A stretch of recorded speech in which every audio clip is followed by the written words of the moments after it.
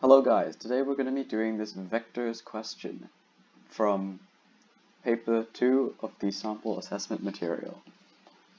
Now let's look at it. OA and B are fixed points such that OA is 4i plus 3j, OB is 8i plus pj, and AB is 2 root 13.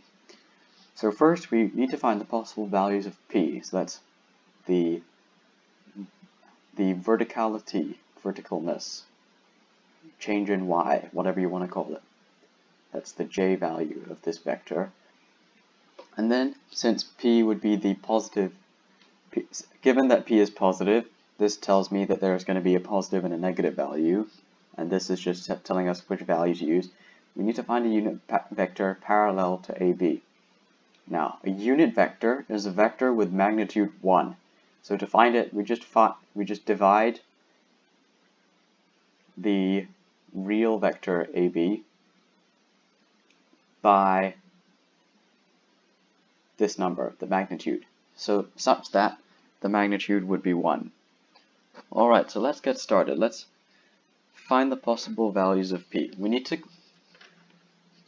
I my, my current thinking is that if we can find the value of ab, even if it's in terms of p, we can find the value of p from the fact that the magnitude of a vector is the square root of the sum of the squares of its i value and its j value.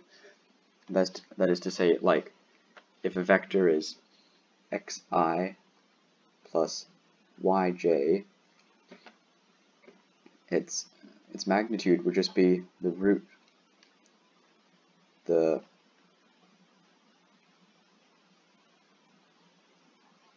root of x squared plus y squared. Now, let's zoom in a little bit because I'm finding it hard to write. Um, so first let's figure out AB.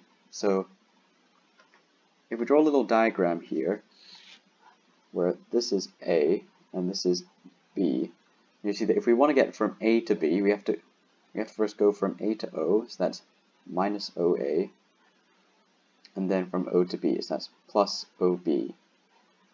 Or this is just OB minus OA.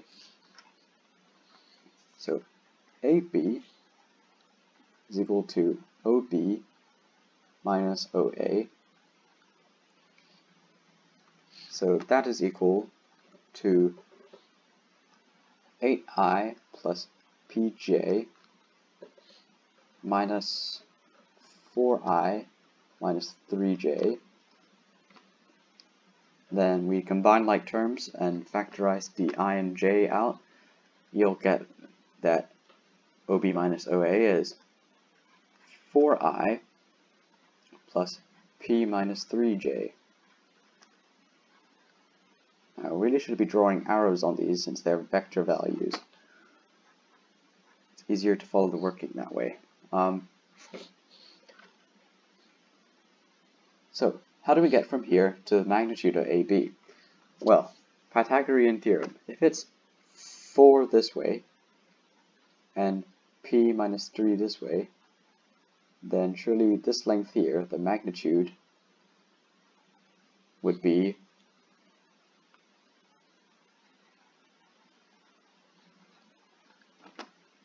root of 4 squared plus p minus 3 squared.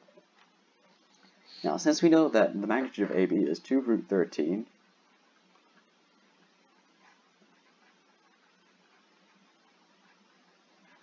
let's just put this 2 back into the square root symbol, so it would be really root 52, which is equal to root 4 squared plus p minus 3 squared.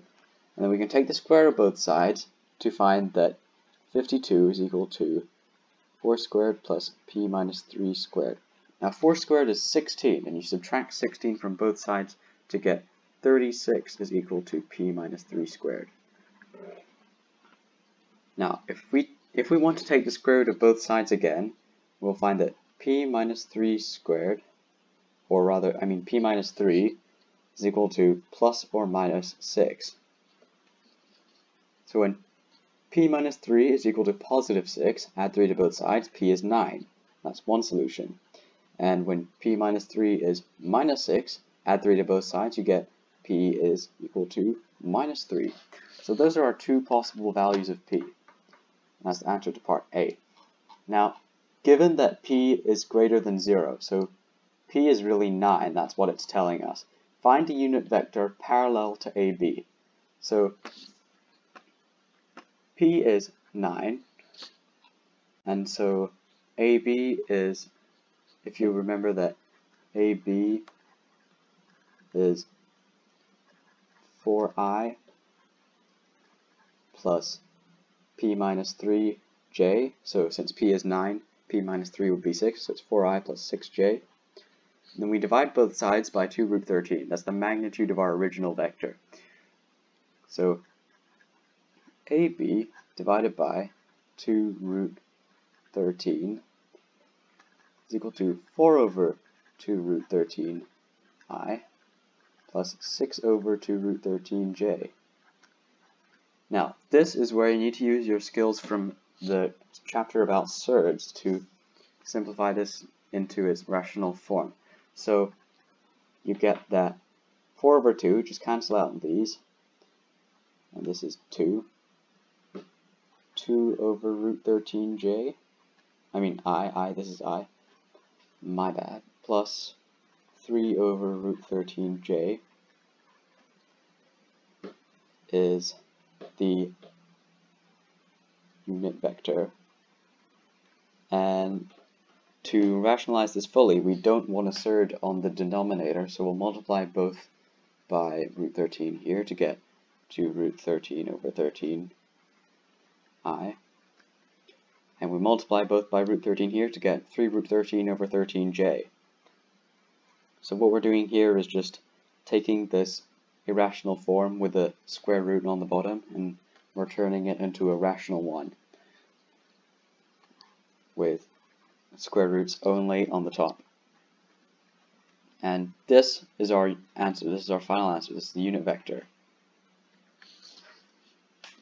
So, to recap, we look at these, we take OB minus OA to find the value of AB.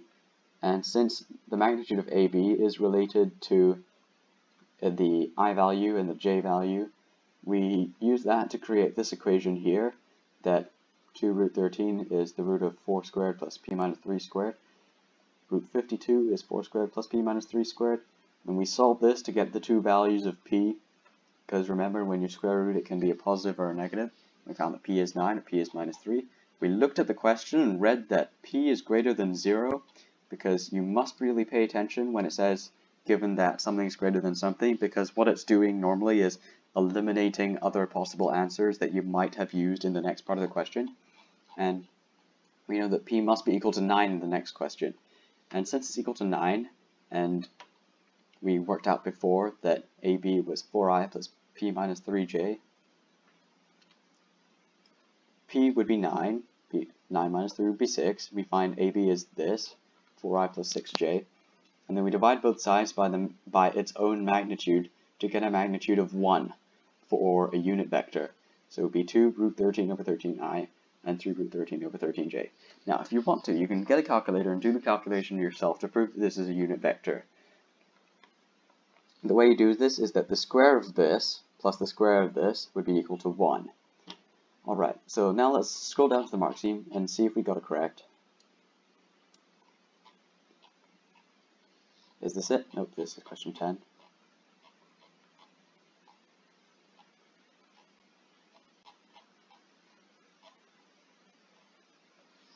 Alright, so AB is 4i plus P, 3p minus 3j. Let's check we got that. Root 52 is 4 squared plus p minus 3 squared. Oh, you didn't actually have to do this, to be honest, because you could just square both sides. That's how we did it properly. So they've used a rather complicated method of doing this, whereas we could do that easier. So that's a double check for being cool kids like we are. And we've, we've looked at the inequality, we noticed this. That's a yeet. And finally, we found the unit vector here. This is just a fancy way, like OE means or equivalent, and our answer is basically this value, so it should be fine. Yep. This is the answer we got.